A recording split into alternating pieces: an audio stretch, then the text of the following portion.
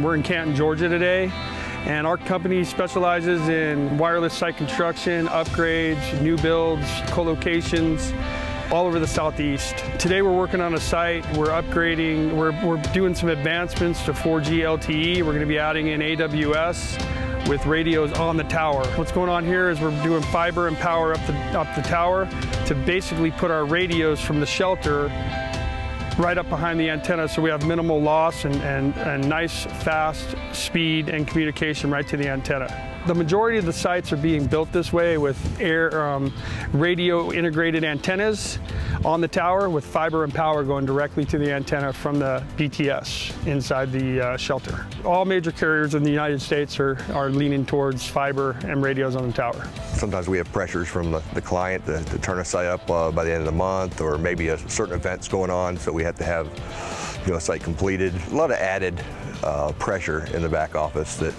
uh, from client or from just you know a landlord or something that you know the crews don't see. And a lot of times they don't know why you may be pushing them but you know you deal with that every day. So we'll first survey the site. We'll come out here and figure out what type of cable lengths we need. We'll create a bill of materials.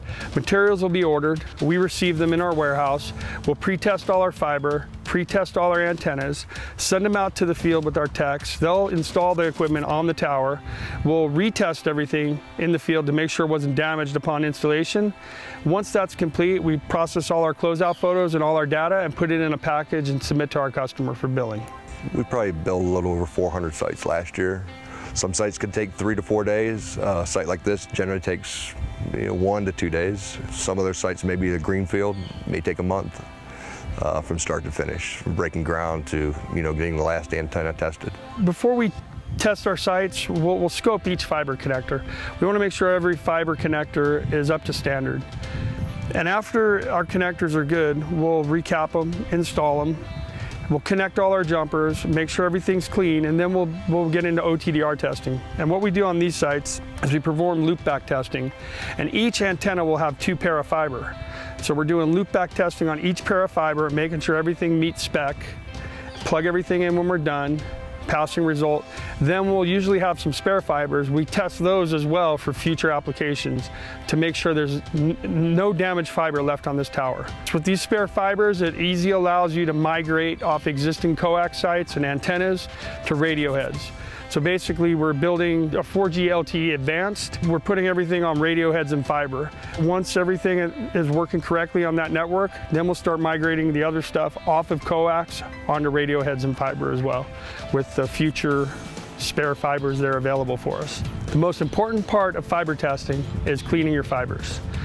If you have an exposed fiber, before you plug it in or hook something up to it, we're cleaning it. We spend the most time on cleaning fiber connectors, making sure everything is spotless. A clean fiber connection is the key part to this installation. Individual scope plots of each connector are required by the customers.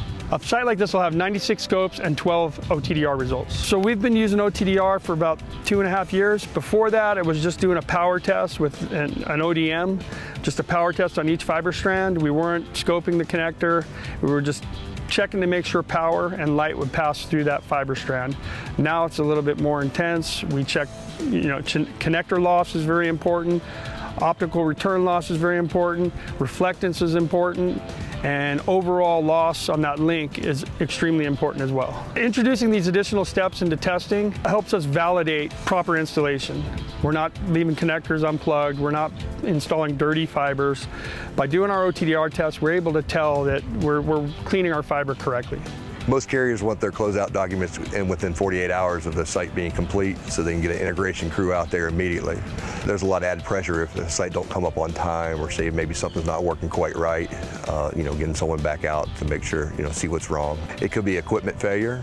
Uh, it could be maybe uh, uh, something needs to, you know retested. Uh, could be in the weather. I mean, maybe some water got into something. Uh, uh SFP is a is a good one that goes. You know, SFP wasn't seated correctly, or maybe you know it's not working correctly and just needed replaced. The main thing on our truck rolls will be a connector not plugged in all the way. The guys are used to working with large coax, um, you know, inch and 5 eighths diameter coax. It's, it's a heavy duty coax. You can move it around a lot. The connectors, you can bang them around. You're going to be okay. Getting into the fiber connector, it's more delicate. plugging them in together in the coupler. Sometimes if the, the guys won't hear a click, especially when you're on the tower and it's a windy day, you're not always going to hear that click. So what we're trying to do is just verify and pull back on our connectors to make everything, make sure everything's seated. The SFPs on the tower into the antenna will not be fully seated, or the fiber is not fully seated into the SFP is our number one problem. One thing we've always wanted to do is is we've been asking ever since the Air 20, you know, Air 21s or the RUs came out uh, on top of the tower, how we could test them and make sure they were working before we left. That's always been a big hang-up for us. Uh, you know, the, the gear is, uh, you know, is proprietary. We're, we're, not, we're not allowed to log into it, so we can only power it up and see all the lights come on. You know, we do all our testing on, you know, on the fiber. But if we actually had a device, you know, that actually passed data, we know the SFP all the way to the ground is good. That's always been a huge hang-up, and we've been arguing that since we started this project. So what would help us is a CPRI validation test, which we experienced today. What that entails is we check our SFP top to bottom and our fiber link, and we're able to confirm that that link and that SFP is working. That would help us ensure that our install is, is completed correctly. I think the CPRI testing we're doing today would be one great tool, you know, just for us to have to use, even if it's not required by the client. I think it's a good in-house tool. I'd say 8 out of 10 return trips is for the antenna. This needs to be reseated up top. SFP is like, is, is not uh, seated correctly or is bad and needed changed. I mean, so if we knew that was working, even if we did something wrong on the bottom, you can fix it from, you don't have to have a climb, have a guy drive out there. So, so I think it's a great tool.